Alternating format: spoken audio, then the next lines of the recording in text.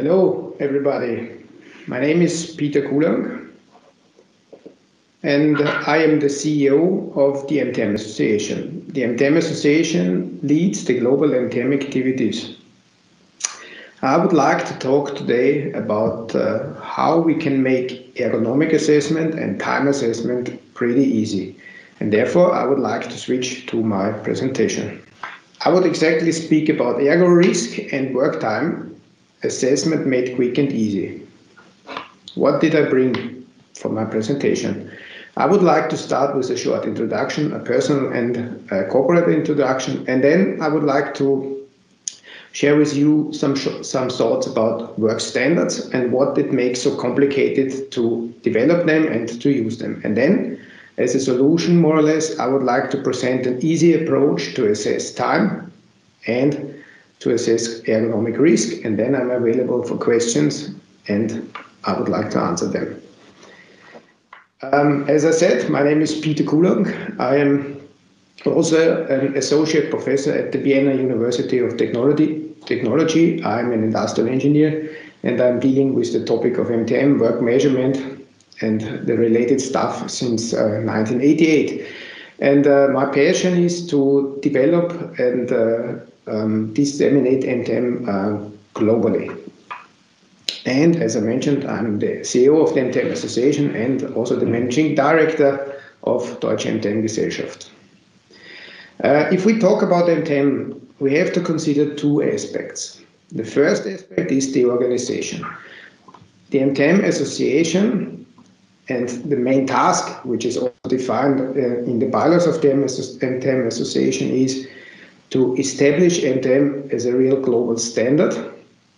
And we are a non-profit organization with the task of developing and researching MTM further, and we are running MTM trainings and we issue the certificates. Some of them you can see here, which uh, result in a blue card, which is the international identification for the MTM practitioner and the green card, which is the identification sign for MTM instructors. Um, from the MTM Association, you can not only get training, you can also get the relevant or the response, uh, the respective software and consulting and research all of from a single source. On the other side, if we consider, if we talk about MTM, we have to consider the method. The method, MTM, which can be defined also as a process language where you describe labor, human labor, and you can not only describe, you can also assess it from a time and ergonomic perspective. Based on this, this language is based on a standard performance, which is uh, which was developed uh, in US in the 1940s of the uh, and uh, it this performance level is accepted globally and very much appreciated, especially by social partners here in Europe. The MTM Association, the non-profit organization, has about 240 members from like Airbus to Z, like Zollner. Mainly uh, the members come from Germany, but we also have uh, a lot of uh, international companies as members. We run about four, we, we issue about 4,000 certificates a year in our MTM techniques. We, we run presence courses, classroom courses, uh, e-learnings and webinars. We, together with uh, the companies, we developed about 200 works agreements uh, where MTM is included, especially with the focus on remuneration. And then we also develop a software tool which is named TiCon and which has uh, a lot of installations globally. We also have a lot of experience in running improvement projects and uh, consulting services. Let's talk about the method and why it is so difficult to, or let's talk about the work standard and why it is so difficult to create it and then to use it. What you will see in a second is, and this is where the beauty of the MTM systems come, comes in, is you don't have to see the work, and you will see that in a second. Here at this, uh, uh, uh, here at this uh, talk, you will uh, a valve will be screwed in uh, after we were talking about this work standard, and our with MTM, it's possible to describe the process without that you see how the process exactly is performed. So what we, what we can do is we can plan and observe an operation or observe it. But uh, planning is uh, planning is that where the beauty of the system comes from. And we have to assemble a plug or a valve uh, at this torque, and uh, we will then fix it with a torque wrench. What we do in order to describe the processes, we use the MTM data cards. These data cards describe um, operations, and uh, these operations are based or are categorized in influencing factors. For example, here in distances that have to that, that describe the distance of the motion here between 50 and 50 and 20 centimeters or 50 and 80 centimeters, and here we do have some operations describing the content, and all these. Uh, building blocks or process building blocks. They have a unique code, and with this code, we describe the process in a sequential way. So it's like bricks that we are assembling or that we are putting together in order to set up or to build the wall. And this is how we describe the process. So we are setting up or we're defining a standard. So we use these blocks in order to describe the process. And if we look at this process to assemble this connection plug, the first thing is we have to, to get the plug from, from a box and bring it to the thread. This is described by AF2, which means that we have to place it pre- precisely and that the part is jumbled when we grasp the part. And the time here, it's, it's a predetermined time, and the quantity of this operation is one. So we do this task one time, and then the next task is we have to screw this uh, plug into the thread with, a, with, with some cycles. In this case, we use a ZA2 as a code. And then we take the torque wrench, we bring it to the to the plug, and then we fix it with a couple of motions. I don't want to get into much detail, but you see at the end you have a sequential description of the process. You define the standard method, and you get automatically a basic time out of that description. So, and the model time or the standard time that you can now see is now applied to the video and you see the torque, how the screw is screwed in and then the torque wrench, and we take some fixing or we do some fixing motions here in order to fix it. And that is the standard method how we set up a standard and the standard can be then used to plan uh, your assembly task. That's how MTM works or how, in general, predetermined motion time systems work. But it's difficult, not difficult. You need a lot of education, and there is a lot of effort in it in order to uh, set up a standard. And this is what we want to change with our new approach. And I want to show you a video how these things, what the idea of this uh, easy approach of MTM is.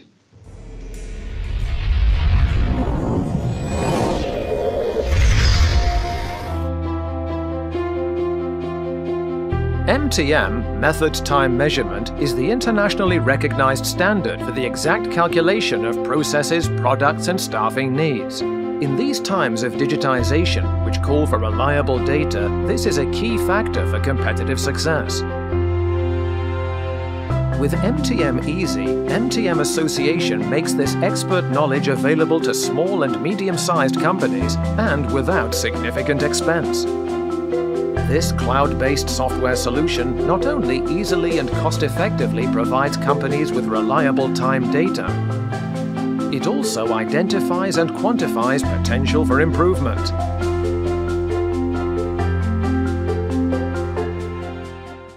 Yes, to identify potential for improvement. This is what we do or what we want to do. And the fundament for this is that we find an easy way to assess the operation times or the assembly times. The approach that we are using is um, is designed to help small and medium-sized uh, enterprises or businesses that currently have little or no time measurement incorporated into their business model. It is a solution that requires only the knowledge of the operation and no knowledge, no exact knowledge of the industrial engineering tools that you need in order to determine time. For example, work sampling or using a stopwatch or just a, a time determination based on your experiences. And uh, usually companies deal with times based on their experiences. But uh, The MTM-EASY approach focuses on workplaces and on the processes and not necessarily on precise work times. So we develop a time which is which which is uh, which gets an approval based on the MTM time, but the precision here is not that the, the required precision is not that high. Usually in SMEs, than in, for example, in the automotive industry where we have very little cycle times. So what you usually have is how how does it work to get step by step better in using the MTM-EASY approaches. Usually, usually in reality, you know how long how long it needed in order to uh, perform an order that you had to fulfill. So we call that consume time. In most cases, or in some cases, uh, the order, the time you calculated was a little bit less than it took you at the end to fulfill the order. Probably you used for that your own work standards, your, based on, on, on your experiences. But what you can get with MTM-EASY is what we call an MTM benchmark time or a reference time. And this time consists, is usually little or uh, slower or shorter than the time you calculated because it consists of the, the core time of the work tasks, as, as you have seen before when we said when we were talking about uh, setting up a standard. So real, we would call that a net time, and a surplus or an additional uh, value for the distances that have to be covered or that come out of the organization of the work system. And uh, the step that you have that the MTM benchmark time provides in the first uh, in the first step is that you get an idea where you have deviations from your planned tasks, where you have breakdowns and where you have unproductivity uh, unproductive uh, activities. In the first step, it is not, not necessary to get into the detail, to understand the standard in detail, to, to, to improve the workplace. It's, it's more an, an overview to to find uh, we call that we would call that the dirt aspects uh, within within the, the performance uh, of your of your production. In in the second step, then we can start optimizing the the process, especially to organize the material supply in a better way, to handle main functions in production in a better way, to organize the work distribution, not so much seeking for material or work descriptions to increase the quality of the workplace and to reduce distances. But as you see, we are still not influencing from our concept the main standard task that we that has to be performed. So that is the idea of MTM-EASY. How does it work? Um, at the end, the benchmark time is a time that uh, in which a task can be performed and how to calculate that time is pretty easy. It's a cloud-based solution, as you heard already. The only thing we have to do is we define the, the work system or the, the principal uh, layout of the work system. Um, and in the second step, we have to define the tasks of that have to be performed. But we do not we do we do use uh, pictograms in order to describe what has to be done. So there is no difficult calculation necessary, as you saw before, with with the with the standards and with these bricks or these process building blocks. In this case, we just use just use under iCommerce um, um, pictograms, and behind these pictograms, we define some norm and standard uh, task operations, and we calculate the time. So that is the principle. How does it look in detail? And for, for the for the time you get, you get the approval of the international standard of the norm performance of norm performance, which is included in in the MTM standards. So let's take an easy example, which is a shelf that uh, some of you may know. It's called Kallax from IKEA. It's a wooden shelf that can be assembled pretty easy if you want to build up a shelf or a, uh, for your at, at, at, your home. And um, the tasks that we are going to look at look at this is the manual which is provided by IKEA. The first and the second step that have to be done is we we take out two. Um, the first step we take out two uh, bigger wooden plates and we have to fix them with two screws. And in the second step, we have to, to put in or to plug in a, a second, a, a, shorter piece of wood uh, in, into, into one of these parts with, uh, with two bolts, wooden bolts. That is what we are going to analyze quickly. And uh, if, if we look at this, the only thing we have to calculate is we have to find the right pictograms in the software, which gives us the information that we are managing or handling bulky parts, because bulky is a decent size or defines a decent size of, of, of, of a part. And we need, in this case, uh, we, we will need a screwdriver, but this symbol here of is just for this open range is used uh, uh, for a symbol and we have to assemble two parts and we have to fix two screws. So that is in the background, the system calculates the time, which is a net time um, for these tasks. And the second task was also to fix one bulky part with two bolts and a hammer. The hammer is included in the method, so two bolts the only thing we have to define is what type of operation and how often we have to do that. And we, we also get another type.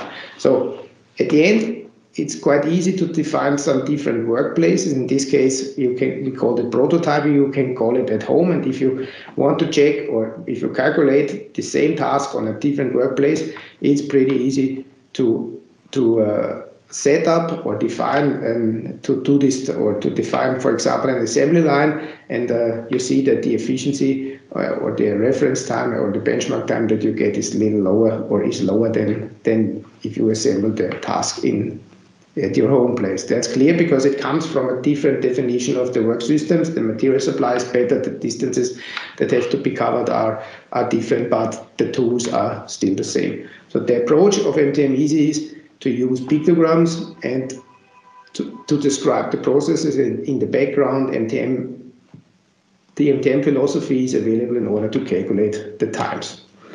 Now, I would also like to add uh, some thoughts about how to assess ergonomic risk or ergo risk.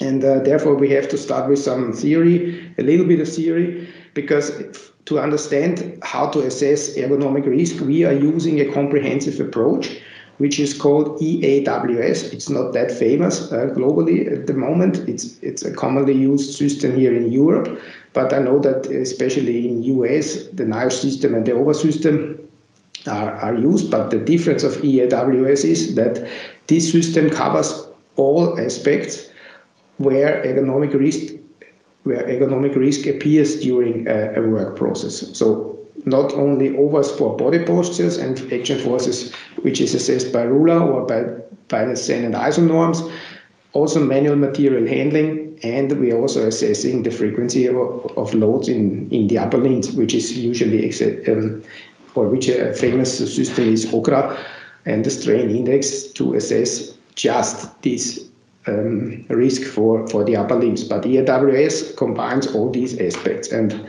the methodology or EAWS assesses physical load for the whole body on one side and for the upper limbs on the other side, and we combine these values to, to identify an overall risk value. This risk value is based on two basic principles, and this is important for understanding how we made it easy to apply this uh, methodology because on one side you need the intensity of the load. So how how high the forces are or how far you are bending for for example. And on the other side you need the duration of the load or the frequency how often you you are repeating a task. And out of this a risk factor is calculated. And uh, the principle of uh, the approach now is to identify ergonomic bottlenecks based on these risk calculation. So, and always as a fundament, we are still using our. It looks complicated and it's not that easy to uh, to apply. We, we are assessing ergonomic risk with EAWS in four sections. So in the first section, we collect uh, general data and we calculate the full score. In section one, we are calculating the body postures and arm and trunk postures. In section two, we are calculating action forces. Section three, manual material handling. And in section four, finally, we calculate the, the frequency or the risk of the upper limbs. And uh, you see a lot of factors have to be considered, have to be calculated, have to be taken into account. So not that easy if you want just a rough estimation if there is ergonomic risk in this uh, workplace or in this task.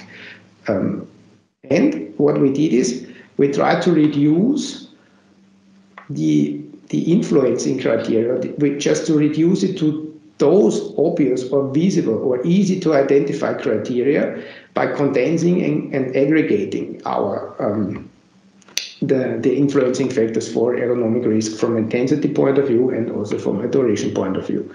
And what we did is, and that's, that's what you see here, is just an, an indication of that the amount of data that have to be collected or criteria that have to be looked on or assessed have uh, are reduced with this easy method. For example, here for the upper limbs, you don't need a detailed knowledge about all the details. You just have to look at the task and identify 25 specific uh, factors or elements in order to, we, we will see that in a second, elements to assess the risk. And the same we did with the forces, with manual material handling, and with uh, the upper limbs. So quick screening or easy assessment is something which is quite easy to be seen here in this in this uh, uh, vertical axis we have the intensity so do you see a good or a moderate or an extreme posture. So this is the only thing you have to access or assess. Here you see the connections to the original EWS sheet. So the intensity here and the duration on the x-axis. So the only thing you have to calculate or estimate in this case is is this posture appearing with a percentage of less than or more than, for example, 7% uh, during a shift time. And then you, then you um, assess both uh, factors and the effect or the result that you get is a white area, a gray or a black area. And the meaning of that is in a gray and, gray and black area, we say there is a high potential or a high a possibility of uh, ergonomic risk existing, and in the white areas not. So, and this can be used to very quickly and roughly assess uh, workplaces. So the same we did for the other sections, and uh, at the end we we get a black and white assessment of the workplace, and as a fundament in order to get down more or to, to, to sneak down into the problems of that workplace if there is a black place uh, with a detailed analysis in order to find the, the real economic uh, influencing factors where the risk comes from. So what we did here with the black and white analysis is identifying ergonomic bottlenecks. So, and this is the result we get, black and white for the whole body or for the upper limbs, and also black and white for the four sections I mentioned before. Yeah, that was a, a, a rough uh, overview about the ideas that we have and the methodologies that we supply or that we provide for um, easy time assessment and easy ergonomic assessment. And uh, if you are interested in these things um, in more detail, we, we are running a conference which we call the MTM Summit 2021 and the idea there is that we have a house of the MTM community, the house of uh, ergonomic experts and house of uh, industrial engineering uh, experts, which we will run as a hybrid conference in October here in Hamburg uh, as a presence um, summit and online, of course, for those who are not able to travel. So thank you very much for your attention. If you're interested in these things, you see the website where you can get more details about uh, the approaches. And finally, thank you for attention again. I am happy to answer your questions and stay healthy. Thank you very much.